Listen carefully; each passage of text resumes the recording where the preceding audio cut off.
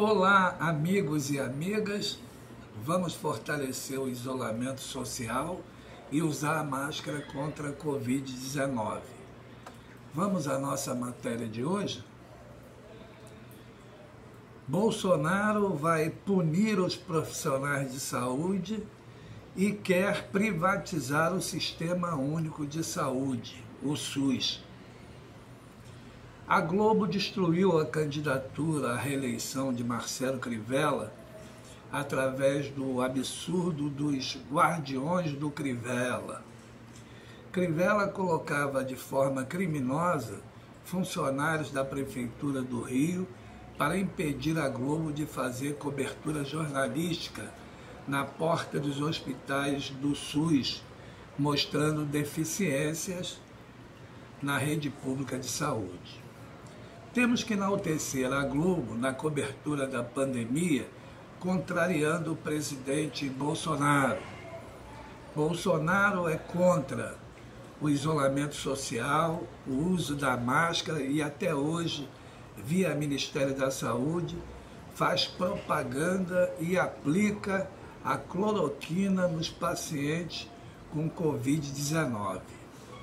Lembrando que a cloroquina é contraindicada no tratamento da Covid-19 pela Organização Mundial da Saúde e a Fiocruz.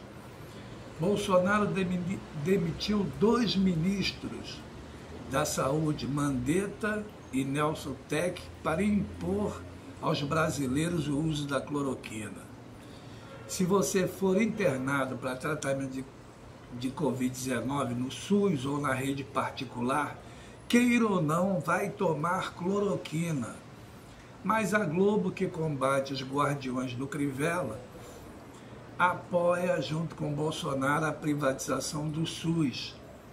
A mídia, principalmente a Globo, mostra as mazelas do SUS e esconde que os hospitais privados ligados aos planos de saúde, inclusive aos bancos estão lucrando muito com a pandemia. A mídia defende seus clientes patrocinadores de campanhas milionárias.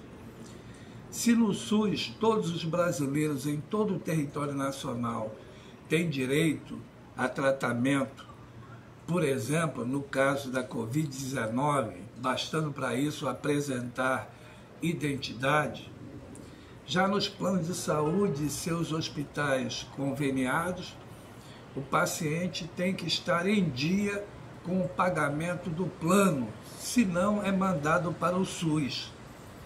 A lei número 9656 de 98 obriga os planos de saúde a ressarcir o SUS no caso de tratamento de seus conveniados, mas isso nunca foi respeitado.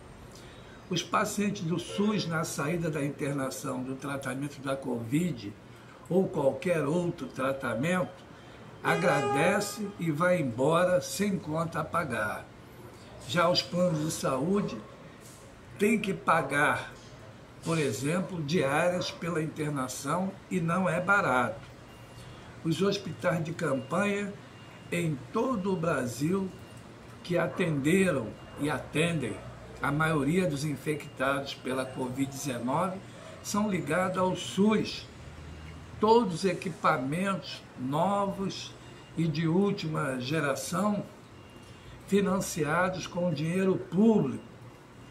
Os profissionais de saúde que fizeram atendimento nos hospitais públicos e nos hospitais de campanha são, em sua maioria, médicos enfermeiros funcionários públicos. Olha o que faz Bolsonaro e para isso tem apoio da mídia, principalmente da Globo. Vai fazer a reforma administrativa que atinge, entre outros, os profissionais de saúde, demitindo, reduzindo salários, inclusive de aposentados. Bolsonaro diz que é para cortar gastos porém deixa de fora de sua reforma os altos salários, inclusive alguns acima do teto constitucional, como de juízes, procuradores e militares de alta patente. Como se não bastasse, Bolsonaro quer privatizar o SUS. Aqui no Rio de Janeiro, no mesmo dia do anúncio do decreto de privatização do SUS, aconteceu um incêndio no Hospital de Bom Sucesso do SUS, com vários mortos. E Bolsonaro mandou fechar por tempo indeterminado o Hospital de Bom Sucesso, com 600 leitos que atendem principalmente aos pobres da comunidade da Maré. Lembrando a Bolsonaro o que diz a Constituição Federal, artigo 196. A saúde é direito de todos e dever do Estado.